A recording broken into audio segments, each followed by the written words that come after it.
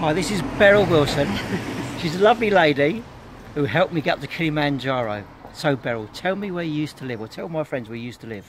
Well, we used to live in Tanzania Okay. and we worked there. We're international teachers. And so Kilimanjaro was on our doorstep.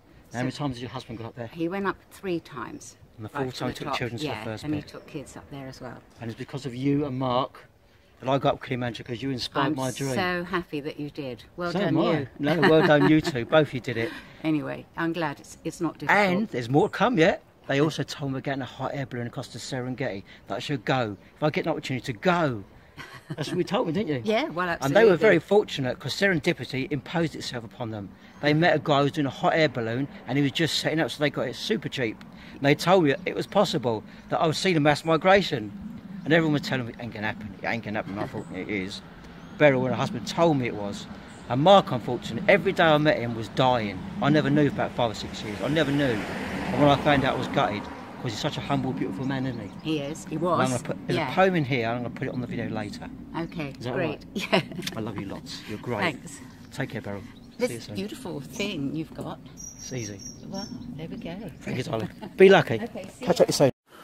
Mr. Wilson's house, the man who inspired me to climb Mount Kilimanjaro. He's done it three times. We're giving him an interview. Hi, Mr. Wilson.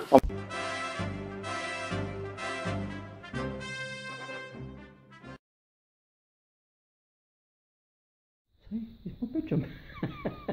awesome. Check out this view though. Now that is bloody awesome. It's a bit cloudy out there.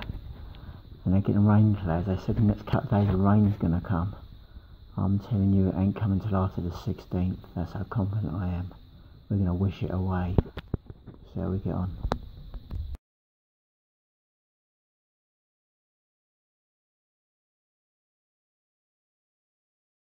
Four ecosystems on the way through Kilimanjaro. Tropical jungle, moorlands, alpine desert, and then you get snow-capped mountain tops. So we eat your food, toilets down there, accommodation, Kushti. Mawenzi's on the right, and Kilimanjaro is on the left. And there's the posse, husband and wife, single girl, and there's Robert down the end. There we are, 3,270 metres high. It's all cloudy.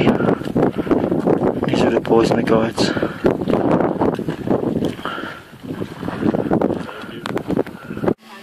Should we sign the book? Picture of the elephant. It's cool, isn't it?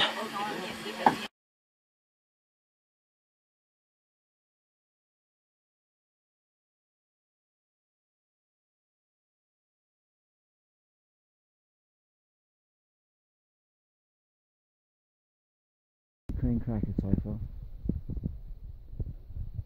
We've still got another two hours yet to go. It's like running a marathon, hitting the wall 18 miles, and you've still got six hours left, or seven hours left. That's how hard it is.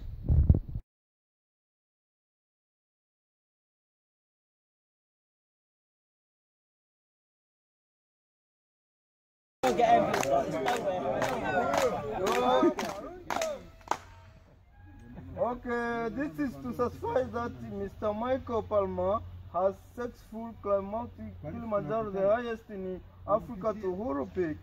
5,895 altitude meters. Congratulations. Thank you very much.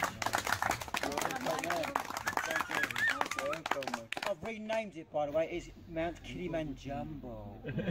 Oh. Much better. Now you Means good. The, you change the spelling. I have. Make it much better. yeah.